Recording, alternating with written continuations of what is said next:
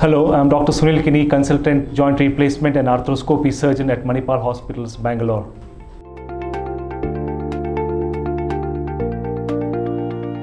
To start off with, hip and knee replacements are one of the most successful joint replacement surgeries uh, all around the globe.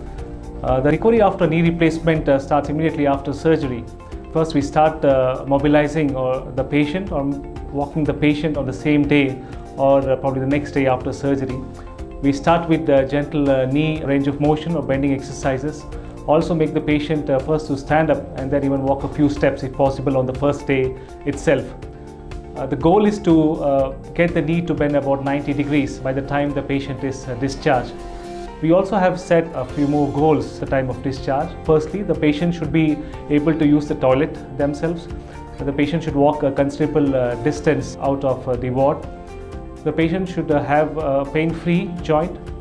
The range of motion, as I previously said, to about 90 degrees. The knee pain and swelling should be at a minimum during time of discharge. Once the patient uh, goes home, uh, we have a physiotherapy team which visits the patient home. It's very important that the physiotherapy continues four or six weeks after surgery and not just during the hospital admission. So the goal at home is to continue with the knee exercises, uh, which includes the strengthening of the muscles around the knee, the quadriceps, the hamstring muscles.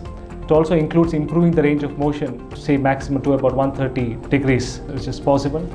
It also includes uh, that the patient's swelling and the pain considerably goes down. Uh, it is important to note that the improvement in knee joint surgery in terms of pain uh, can occur up to about three months after surgery. So, if anyone comes to me at three months down the line with some amount of pain that is expected. Similarly, the swelling can be there for a considerable duration, say 6 months or 12 months uh, after surgery, which is considered uh, normal. In terms of walking aid, uh, we advise the patient to use a walker immediately after surgery, see up to the first uh, couple of weeks. And once the patient is comfortable in terms of pain and mobility, then uh, we advise the patient to use a, a crutch or a walking stick. So this is usually for either two to three weeks. So by about four to six weeks, the patient can be uh, independent without using any aid. Also, if patients like uh, want to drive, we advise that uh, it would be advisable for a minimum of six weeks before the patient can start driving again. And also for people who want to ride a stationary bike, about six weeks to three months be an ideal target to look at.